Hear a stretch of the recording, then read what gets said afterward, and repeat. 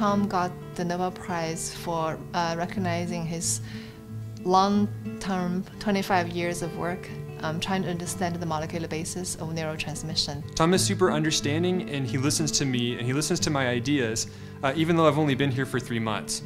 And I think this is one of the reasons that Tom is so successful, is because he listens to great ideas no matter where they come from. And that really helps make him part of the Stanford community as well. Um, so, and, and, I think that getting the Nobel Prize really validates this approach for him, and it really shows that in science, to make great steps, you have to listen to great ideas no matter where they come from.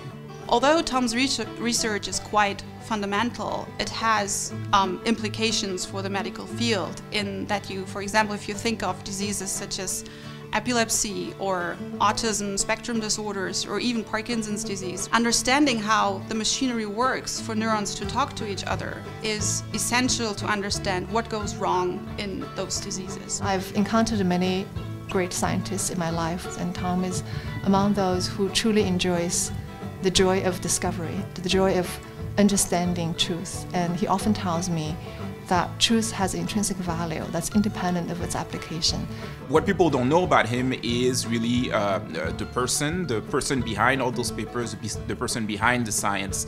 And that's the one that has affected me the most. And not only is been, you know, supporting me in a personal uh, manner, but also scientifically he showed me really how to do a solid science.